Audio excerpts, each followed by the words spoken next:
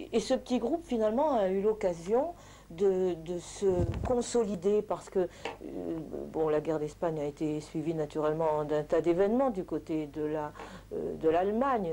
Il y a eu l'occupation de l'Autriche et là on a euh, vraiment réagi dans des manifestations. Il y a eu la Tchécoslovaquie avec Munich.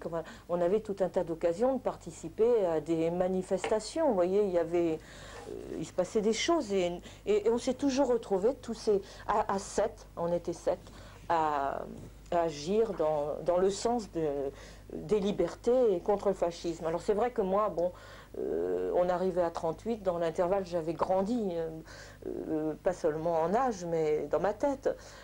par exemple, j'avais travaillé un moment chez un percepteur pour gagner un peu d'argent pendant les vacances. Et là, dans sa bibliothèque, il y avait un seul livre qui était le Capital et que je m'étais mise à lire parce que j'aurais lu n'importe quoi, mais là, je, euh, je dois avouer que j'étais un peu perdue, mais lui m'expliquait. Alors je découvrais un monde, je découvrais qu'il existait euh, des gens qui étaient comme moi révoltés par la justice, parce que personne ne me l'avait dit, je pouvais bien me considérer unique, sauf mon petit groupe de sept copains, on pouvait bien dire que tout le reste du monde était différent, mais non, c'était pas vrai, il y avait des gens qui écrivaient des livres, qui s'intéressaient aux choses, qui me faisaient prendre conscience puis dans l'intervalle, j'avais écouté Vaillant Couturier euh, dans une conférence euh, au marin, dans une, euh, oui, dans une conférence aux marins pêcheurs à Ouistreham, mais ça m'avait fait prendre conscience vraiment que des gens comme moi voulaient un changement, que c'était possible de changer la société et que bientôt, quand je serais devenue adulte, j'allais pouvoir y participer, que c'était une question de patience, mais que déjà même là, en allant manifester dans la rue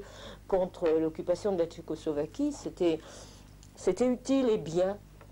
Alors, toute ma révolte a été canalisée. Euh, alors quand, quand l'occupation est arrivée, tout, normalement, je me suis trouvée résistante avec tout le petit groupe.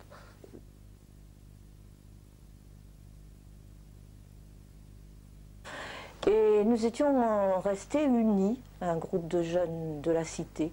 Et nous nous retrouvions souvent dans un petit bois, là, dans la cité, euh, pour discuter des événements. On n'était pas vraiment le Parti communiste ni les jeunesses communistes. On était sept jeunes euh, sollicités par les mêmes problèmes, qui nous posions les mêmes questions et qui trouvaient souvent les mêmes réponses. Alors finalement, euh, quand l'occupation est arrivée, on a eu envie de lutter contre cette occupation. On n'a pas accepté. Et on habitait tout près de la mer. Et dans l'été 40, on n'avait rien à faire, l'école était fermée, l'usine au chômage. Alors on se retrouvait sur la plage. Et c'est là qu'a débuté la, bataille euh, d'Angleterre. Et on était, nous, là, les sept, ou quatre ou cinq, selon, selon le cas, en train de trépigner de joie quand on voyait revenir euh, les avions mal en point. On rencontrait des jeunes Allemands sur la plage qui, reste, qui ne s'offensaient pas de notre joie. D'ailleurs, ils ne savaient pas forcément euh, si on était content de les voir revenir ou si on était content qu'ils soient mal en point. Et, là, ça on peut dire que c'est là que s'est constitué notre noyau, parce que euh, face euh, à la mer, là, après naturellement l'appel du 18 juin qui était quand même arrivé à nos oreilles, on se disait on pourrait partir, rejoindre ceux qui se battent là-bas. Mais il y en avait deux qui étaient communistes et qui nous ont dit non, on va se battre là. Et effectivement, à l'automne suivant, ça a commencé. On a, on a reçu des tracts à distribuer aux ouvriers de l'usine parce que l'usine avait euh, recommencé à fonctionner et il était évident que l'usine allait travailler pour, euh, pour l'armée allemande, hein, ou, sur place ou, ou déplacée, mais qu'elle était destinée à ça.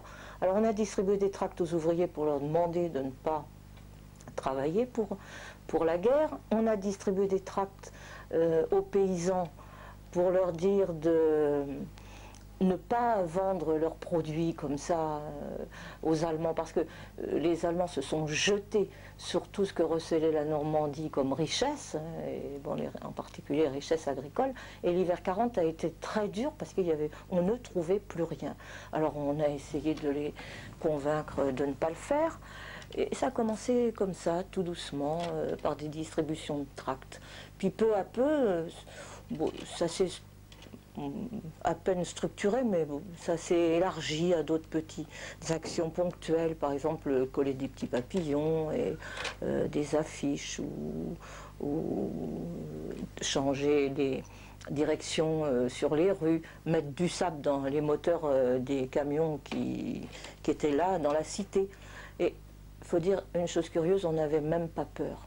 Parce qu'on était tellement convaincus que ça n'allait pas durer longtemps tellement sûr d'être suivi par la population qu'on se disait on fait des appels pour venir à la résistance, mais si euh, on veut qu'ils viennent, il faut qu'ils nous connaissent, il faut qu'ils, sachent les gens que, qui distribue les trappes au moins qu'ils sachent toucher quelqu'un. Alors c'est à peine si on se cachait, on donnait ça la main à la main à nos copains, enfin c'était vraiment euh, euh, une sorte de jeu, hein. c'était pas très sérieux, vraiment. Et ça a duré comme ça quelques mois. Et puis, on, a pris quand même un petit peu plus conscience des dangers qu'on encourait, on est devenu un petit peu plus prudent. Et euh, malheureusement, en septembre 41, euh, au cours d'une distribution de tracts, euh, nous avons eu notre première arrestation. Un garçon de 21 ans qui s'appelait Michel Faré, qui a été arrêté à la sortie de l'usine où, se trouvaient, euh, alors vraiment tout à fait par, je ne sais pas de quelle façon, deux gendarmes qui, de la commune qui n'étaient jamais euh, à cet endroit d'habitude. Mais sur les sept, euh, il y avait un garçon qui était fiancé à la fille d'un de ces gendarmes.